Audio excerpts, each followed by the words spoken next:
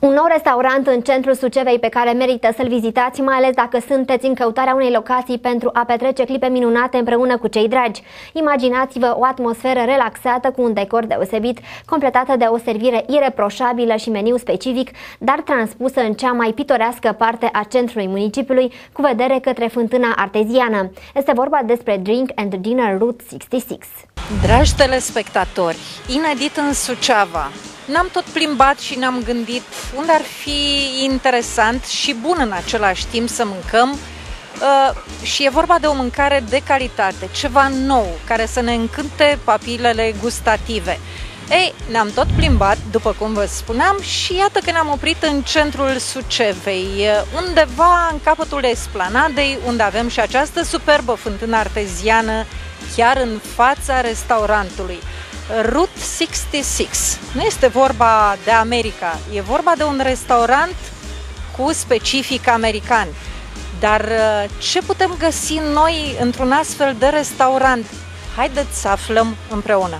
Dezvoltarea comerțului din domeniul alimentar este un lucru foarte bun și noul restaurant vă introduce în lumea mâncării americane. Povestea restaurantului este prezentată de cei doi administratori, Radu și Dominic. O, ideea este veche.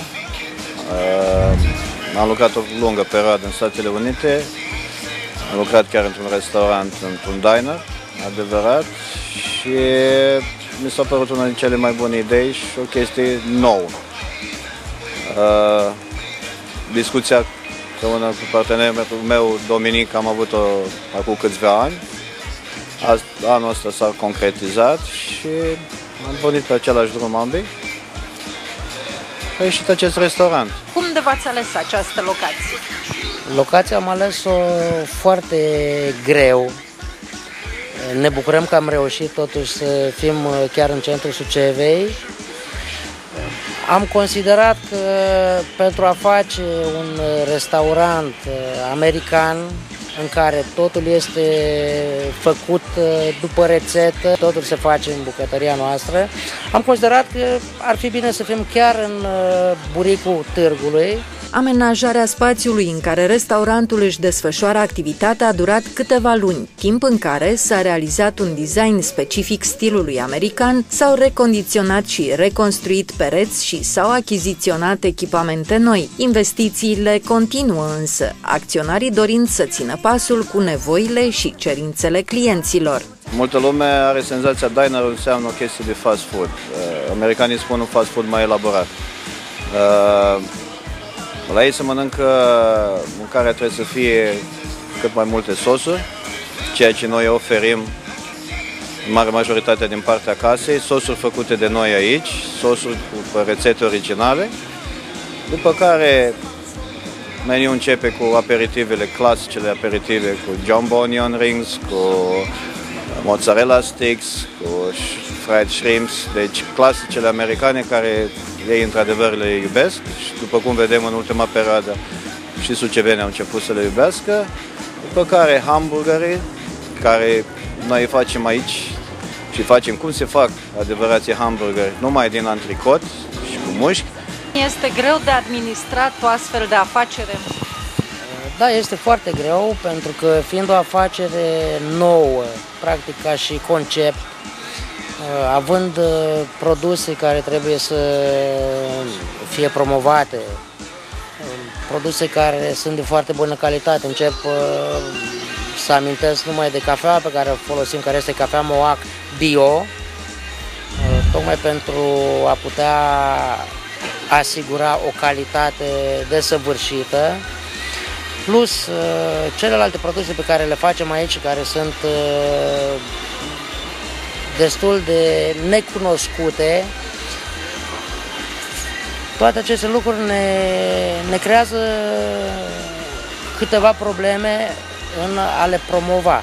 Ceea ce nu înseamnă că nu le vom promova la maxim în cel mai scurt timp ca toată lumea să poată să înțeleagă care ar fi diferența între cașcavalul pane și mozzarella sticks.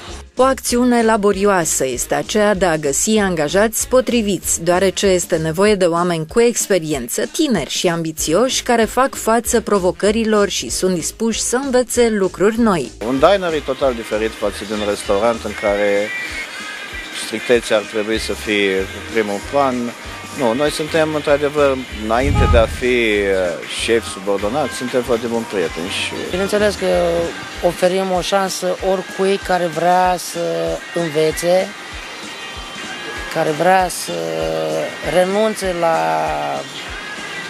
cunoștințe pe care le-au acumulat prin școlile uh, tip liceu economic, unde se formează ospătar, da, ospătar după un tipar învechit, uh, după părerea mea.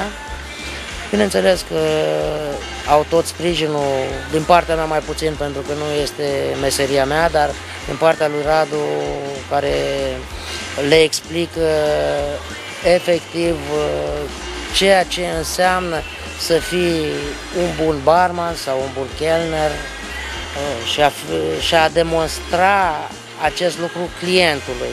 Pentru că nu este suficient să cunoști secretele meseriei dacă cel în, ca, în fața căruia prestezi nu își dă seama. Administratorii Radu și Dominic vă așteaptă la restaurantul cu specific american din centrul Sucevei.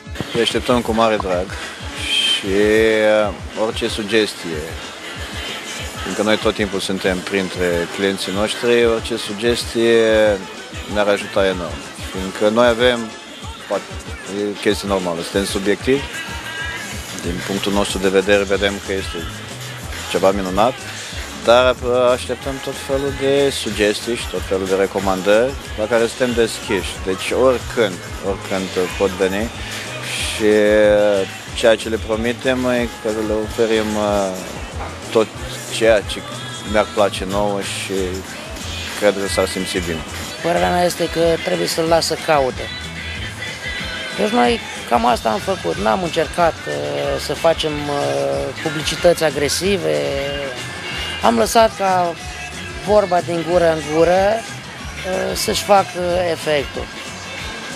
Bineînțeles că urmează ca să facem publicitate pe partea de catering, lăsând totuși suceveanului uh, plăcerea de a descoperi singur uh, un loc unde noi suntem convinși că se va simți bine alături de familie, alături de prieteni, alături de prieteni, alături de cunoștințe. Un material amplu despre noul restaurant cu specific american veți putea urmări în acest weekend doar pe Bucovina TV.